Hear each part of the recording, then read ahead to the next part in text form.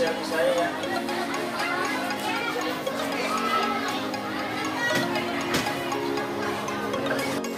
Assalamualaikum warahmatullahi wabarakatuh. Alhamdulillah saya sedang berada di sekolah SMP 41.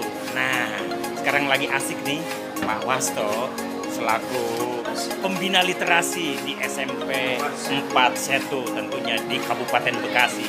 Kita lihat. Lagi Iya, beres-beres ini kali iya, ya. iya, iya, siap. Lagi ini apa ini Pak Ade? Saya lagi beres-beres Nah. buku untuk dibaca oleh siswa. Iya.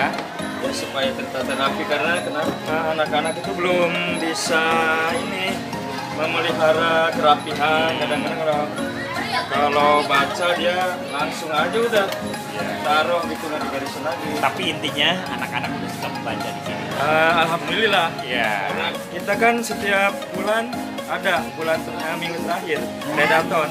Jadi kumpul di lapangan yang pagi itu jam 7 sampai 7.40. Yang siang, sore jam 5 sampai 5.30 lah cuma terus diisi dengan presentasi yang setelah baca buku, buku anak dipanggil mempresentasikan buku tiga orang atau empat orang ke depan.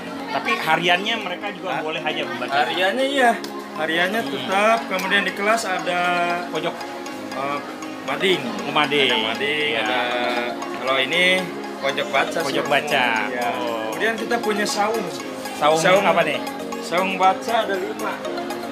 Pakaian depan seribu wangian Basah di badan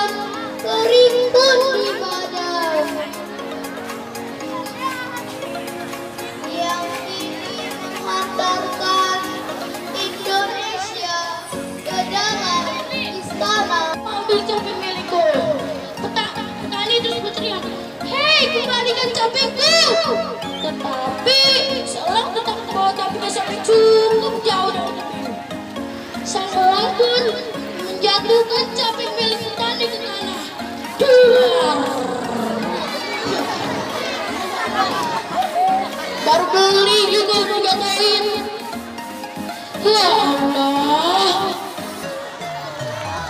Ya Allah kita ngerjain doang berlama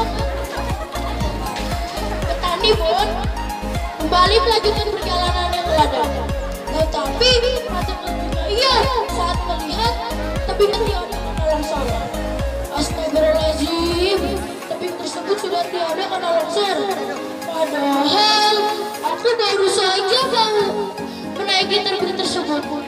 Ternyata yang tadi berusaha menolong si petani. Agar tidak tertimbun longsor Makanya dia membawa petani sampai cukup jauh dari tebing. Rasa kesal tadi pun membuat petani jadi merasa haru dan merasa bersalah. Karena sudah merasa